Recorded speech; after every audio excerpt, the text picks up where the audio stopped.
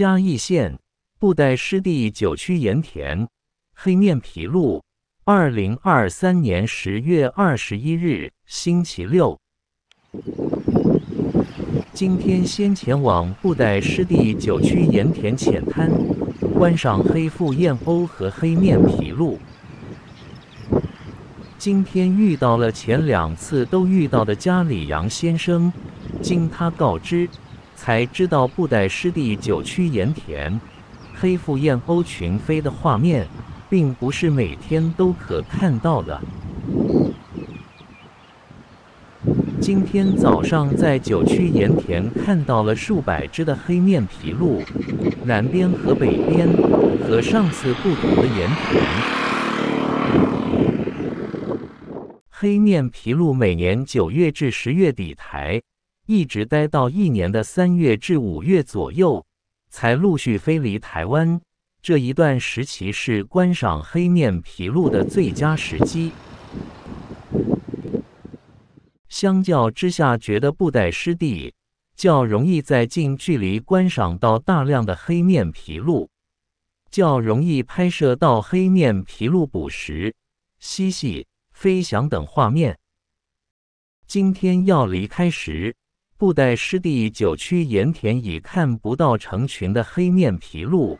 我最近三次清晨前往布袋湿地九区盐田，都有看到成群的黑面琵鹭，所以要观赏黑面琵鹭，建议要早点前往。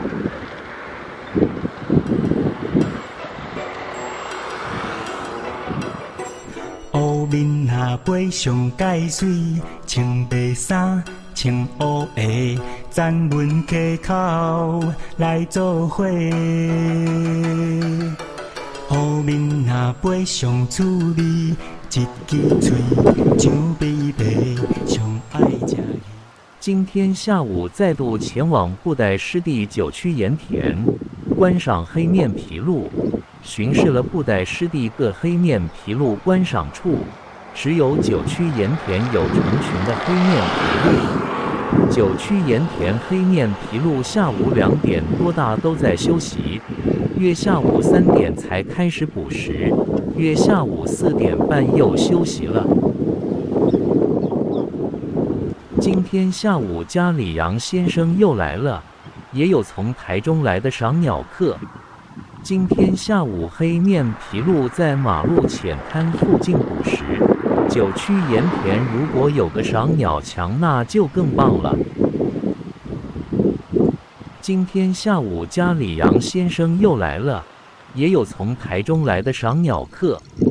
今天下午，黑面琵鹭在马路浅滩附近捕食。九曲盐田如果有个赏鸟墙，那就更棒了。嗨。我是背包客大叔，爱在台湾旅游，每次都会当天贴文并上传影片到 YouTube。想了解最新的花矿、瀑布水况、旅游的参考资料和建议吗？快来订阅我的频道，让我为您提供最新的花矿、瀑布水况、旅游的参考资料和建议。